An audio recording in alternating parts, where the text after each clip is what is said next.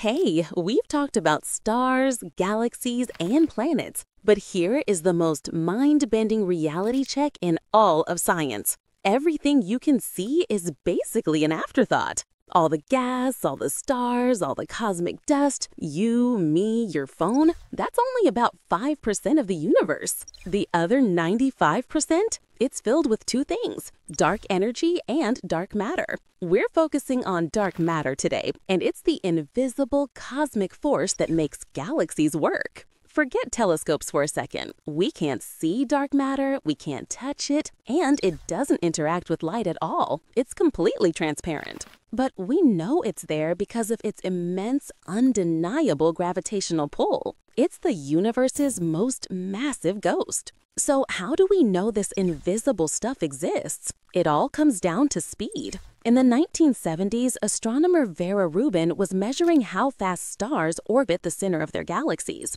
Using Newton's laws, she expected the stars on the edge of the galaxy to move slower than the stars near the center, just like planets farther from the sun move slower. But here is what she found. The stars on the very edge were moving just as fast or sometimes faster than the stars closer to the center. It was like a cosmic merry-go-round where every single horse was moving at the same breakneck speed. The only way for those outer stars to move that fast without flying off into space is if the galaxy contains far more mass than we can see, and not just a little more mass, five to six times the visible matter. This huge invisible gravitational presence surrounding the galaxy is what we call the dark matter halo. It's the essential invisible glue that stops galaxies from tearing themselves apart. Dark matter is literally the cosmic scaffolding. Remember how we said in the first galaxies video that structures needed anchors? Dark matter clumped together first, forming the invisible cosmic web of filaments and knots.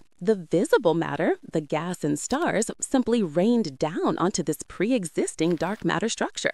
But what is it? We don't know for sure, but the leading theory says it's made of exotic particles called WIMPs, weakly interacting massive particles. These are slow moving, heavy particles that barely interact with light at all. Scientists are using massive underground detectors trying to catch a single WIMP colliding with a regular atom. So, dark matter is the hidden foundation of the cosmos. It's what made galaxies possible, and it's the ultimate cosmic mystery. Pretty wild, right? Let me know in the comments if you want to know about our next invisible topic dark energy.